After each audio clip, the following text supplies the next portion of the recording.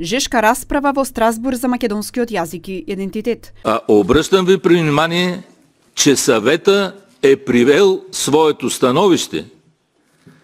Съвета и в него ясно е казано, че Македония най-напред трябва да извърши промяна в своята конституция и след това започват реалните преговори за членство. Благодаря. Okay. They know that. They know that. Македонската пратеничка возврати, бранејќи го јазикот и идентитетот. Повика да се истражи како Бугарија дава пасоши на лица кои адреса на живење ме една бандера во Бугарија.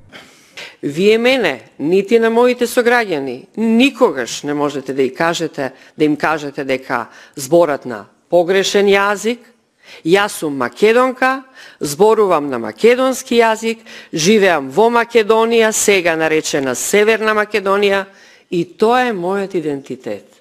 Ги признавам моите сограѓани, албанци, турци, па и бугари, ако ги има. Македонија е пример за мултиетничко општество. Овде се нашите колешки кои тоа можат да ви го потврдат. Можат да ви го потврдат се појави еден голем проблем заради нашето долго чекање, а тоа е земањето на бугарски пасоши за да се купи джип на почеток, за да се отиде во Европа, Со реакција се јави и координаторот на пратеничката група од ВМРО да ДПМН. Тој вели дека полека но сигурно вистината испливува на површина и дека само владата на Македонија не ја гледа или не сака да ја види како што вели бугарската негаторска и асимилаторска политика кон Македонија, македонскиот народ и македонскиот јазик.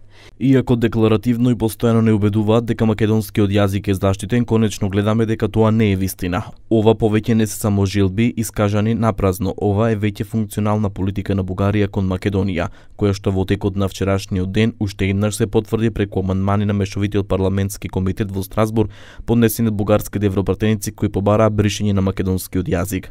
Мешовитиот парламентарен комитет за прв пат се одржува откако Македонија ги отпочна преговорите за членство во Европската унија. Вашата поддршка, партнерство и совети би биле уште повеќе ценети на нашите подготовки за билатералниот скрининг, бидејќи една од новите области функционирањето на демократските институции во кластерот 1 темели, што е најважно од процесот на пристапување, како и под областа за функционирање на парламентите во демократските институции. Во Страсбург денеска на маса се и темите за енергетската криза, добрососедските односи, регионалната соработка и извештајот на диалогот Жан Моне.